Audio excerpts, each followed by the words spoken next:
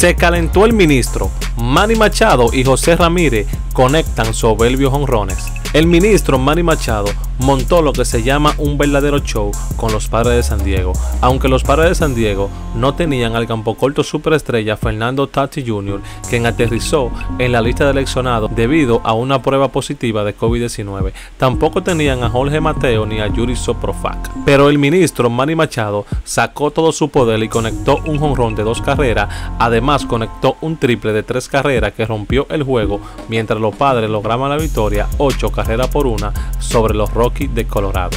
Ha sido un inicio muy difícil para Manny Machado, quien no ha mostrado mucho en este inicio de temporada, pero ya está calentando los motores. Aquí te dejo el enorme jonrón y la gran actuación de Manny Machado, el ministro de Defensa.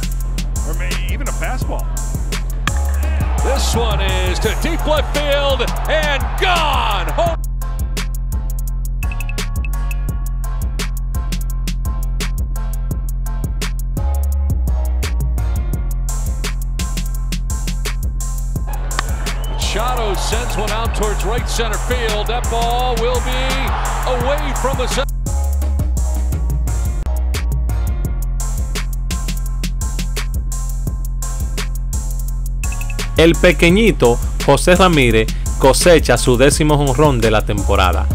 El pelotero dominicano de los indios de Cleveland, José Ramírez, le dejó saber a los cachorros de Chicago quién manda durante la tarde de este martes, luego de un virtuoso turno de 7 lanzamientos para empatar la marca de la segunda posición del liderato de jonrones en la actual temporada. En el enfrentamiento entre los indios de Cleveland y los cachorros de Chicago, el dominicano José Ramírez le dejó claro al lanzador Albert Alsolar su grande atributo como bateador, quien en un turno de 7 lanzamientos encontrándose en conteo de tres bolas y dos strikes, depositó la pelota detrás de la belja del jardín derecho. José Ramírez tomó un viaje por el jardín derecho fruto de un elevado, quien hizo contacto a una bola rápida con velocidad de 93.4 millas por hora, depositando la pelota en zona de cuadrangular con un recorrido de 387 pies de distancia, empatando en el segundo puesto de jonrones de toda la MLB con el cubano americano Jerry Martínez con total de 10 jonrones, solo siendo ambos superados por Ronald Acuña Jr.